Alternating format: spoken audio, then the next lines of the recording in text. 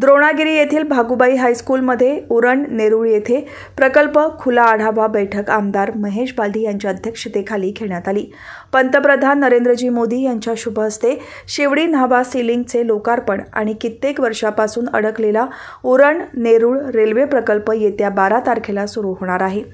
त्याचा जाहीर कार्यक्रम प्रस्तावित लोकनेते दिबा पाटील इंटरनॅशनल विमानतळ परिसरात होणार आहे. या कार्यक्रमाच्या नियोजनासाठी आमदार महेश बालदी यांच्या उपस्थितीत बैठक घेण्यात आली. यावेळी आमदार महेश पालधी उत्तर रायगड जिल्हाध्यक्ष विनाश कोळी उरण तालुका भाजप अध्यक्ष रवी भोईर उरण तालुका महिला अध्यक्ष राणी म्हात्रे यांच्यासह पदाधिकारी आणि कार्यकर्ते उपस्थित होते.